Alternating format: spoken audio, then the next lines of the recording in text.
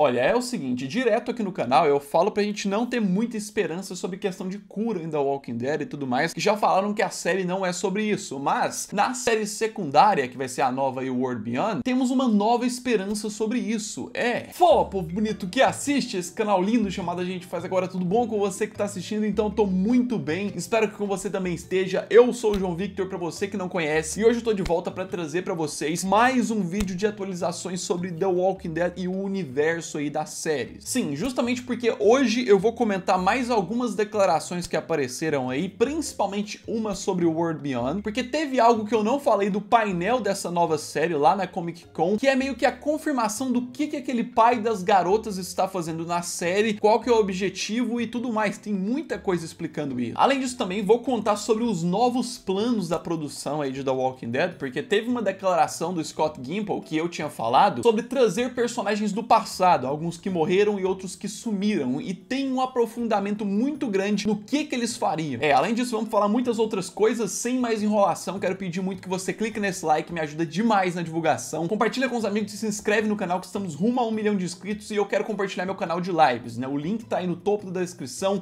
lives de segunda a sexta jogando lá, só seguir, apoia lá. E olha, vamos começar aqui já tocando direto nesse ponto de personagens do passado e tudo mais, porque quando eu fiz o resumo sobre os painéis e eu comentei sobre isso. Que inclusive o Scott Gimple lá na Comic Con tinha falado que um dos preferidos para ele trazer seria o Steven Yeun, que é o ator do Glenn, porque ele gosta muito dele. E seria muito legal a gente ver o Glenn. E isso entra muito naquela teoria do possível vazamento de que o Glenn pode aparecer em flashbacks na próxima temporada. Mas o negócio é que isso de trazer personagens do passado não é somente nas séries que estão passando. No caso, também seria criar novos conteúdos, tipo novos spin-offs, até novos web episódios, como tem alguns aí, mostrando mais da história de alguns personagens que a gente não viu tanto. Eu não tinha lido aqui para vocês o que, que o Scott tinha dito lá na Comic Con, mas agora eu vou comentar. Ele disse o seguinte: Eu vou dizer que estamos trabalhando em coisas em que estamos vendo personagens passados. Talvez não seja uma série inteira, mas estamos vendo coisas em que podemos espiar. Talvez não seja pré-apocalipse, mas no início do apocalipse. Estamos vendo as pessoas, então fique animado com isso. E aí chegou naquela parte, né, em que questionaram para ele se fosse fazer um spin-off e trazer algum personagem do passado, qual que ele escolheria? E aí ele disse que era o Glenn. Sinto falta de trabalhar com Steven e seria engraçado. E eu gosto de coisas que ficam engraçadas. E ainda mais pra frente na entrevista ele detalhou o que, que seriam esses planos futuros com esses novos personagens. Resumidamente, esses projetos envolveriam personagens que perdemos e que desapareceram para preencher os espaços em branco. É, a fala do cara comentada aí, vamos analisar sobre isso. Primeiro, ele ressaltou que não é bem uma série, né? Então pode ser um conteúdo conteúdo bem limitado. Pode ser um web episódio, como tem Contando da Mulher da Bicicleta, como tem do voo lá de Fear the Walking Dead. Assim como também podem estar preparando um novo spin-off da série para contar quando acabou de começar o apocalipse, é o que indica. E aí, em algum momento da história de novos personagens, aparece alguém que a gente conheça. Sei lá, aparece o Glenn ajudando o pessoal de alguma forma, ele entra na vida deles. Aparece algum outro personagem que a gente conhece. Pode ser, seria muito legal ver isso. Tipo, não só pelo fato da nostalgia de ver esses personagens mais antigos antigos, mas também da nostalgia de ver o início do Apocalipse, que é uma das partes que a maior parte dos fãs gosta. De acordo com o site Comic Book, existe a possibilidade de haver mini episódios, que é o que eles chamam, não sei se seria web episódios ou se para acrescentar em alguma série, mas que eles trariam o retorno de personagens como o Governador e o próprio Abraham. E para dar mais ênfase nessa possibilidade, eles também disseram que o David Morrissey, que é o ator do Governador, pretende reprisar o personagem em algum momento do passado, sabe? Antes dele encontrar o Rick, alguma história contando o que, que se passou ali anteriormente. E assim, trazendo isso pra minha opinião, eu acho que seria muito legal, tipo, essa expansão do universo. A gente tem várias dúvidas do negócio, de a gente ver pontos de, por exemplo, o início do Apocalipse. A gente não vê cenas do início de como que começou e tudo mais na série principal, só tem lá em Fear e não foi tão bem mostrado assim. Porque não tem nada muito claro e seria muito, muito bom mesmo de ver isso. Coloca nos comentários a sua opinião. E é, partindo dessa atualização, vamos pra principal desse vídeo, a principal que eu quero falar e eu acho que você quer ouvir, que é sobre a série The Walking Dead World Beyond, que é a nova série, estreia aí dia 4 de outubro. E é, eu já contei para vocês que a história se baseia em duas adolescentes que vivem lá no grupo dos Três Círculos e saem junto com os amigos para poder ir ajudar o pai, que é tipo o futuro da humanidade. Só que a gente não sabia o porquê dele ser o futuro da humanidade. E nessa Comic Con foi explicado o porquê. De acordo com as informações, o Dr. Leo Bennett, que é esse cara que tá aparecendo para vocês, interpretado por esse ator, ele é descrito como um renomado bioquímico e geneticista cientista que trabalha com o exército da República Cívica Militar. Ou seja, ele é um cientista que trabalha para o CRM com o objetivo de conseguir a cura para o vírus zumbi. Finalmente alguém que tem essa abordagem nas séries aí do universo, isso é muito bom, eu amo isso. Esse cara se junta às pouquíssimas pessoas que já tentaram encontrar uma cura na série. A gente pode falar, por exemplo, do Dr. Edwin Jenner, que é o cara lá da primeira temporada, o cientista do CDC, né? E quem revelou isso tudo sobre esse novo personagem da nova série foi o próprio ator lá no painel da Comic Con. Ele disse o seguinte: ele é brilhante, ele ostensivamente tenta ensinar a sabedoria que está obtendo sobre o que descobriu em termos de tentar curar essa praga, essa epidemia. E então parte para outra comunidade para tentar transmitir sua sabedoria e ajudá-lo. Ou seja, a gente tem uma explicação do porquê que esse cara vai deixar as filhas e deve ter um problema para elas poderem ir atrás. Tipo, ele tem um conhecimento, não acho que ele já vai ter achado a cura logo de início, mas ele precisa passar isso para as outras pessoas para junto com elas desenvolver isso, creio que deve ser. E aí no meio desse caminho vai ter algum problema que as meninas vão descobrir e tentar ir atrás, cruzar o país para salvar ele. Sei lá, será que zumbis invadem a comunidade que o cara foi parar lá? Ele consegue enviar um sinal? É muito curioso isso aí. E além disso também foi falado lá no painel da Comic Con sobre questões de autoridade. Ele está abaixo de quem? Quem está acima dele? De acordo com informações, ele está sob o controle da pragmática líder do CRM, Elizabeth Kublik. Eu acho que é assim que pronuncia.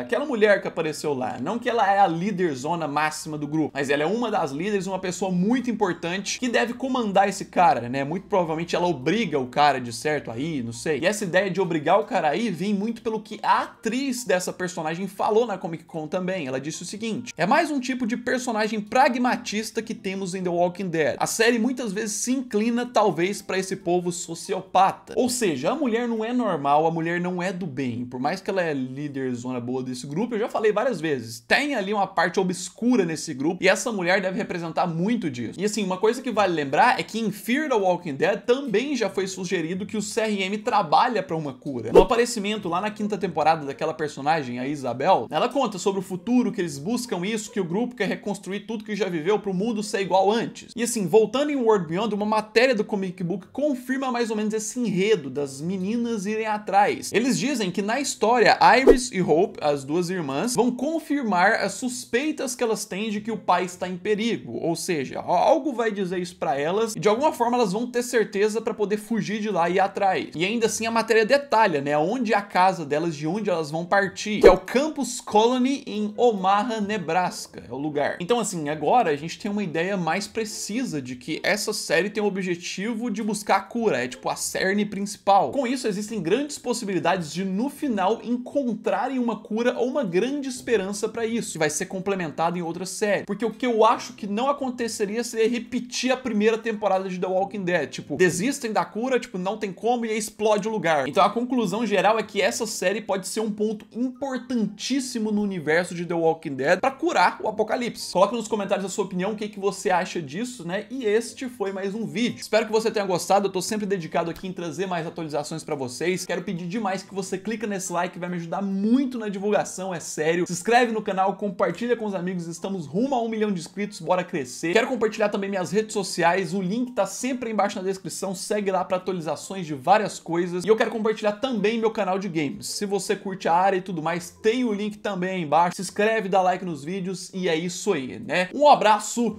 fui!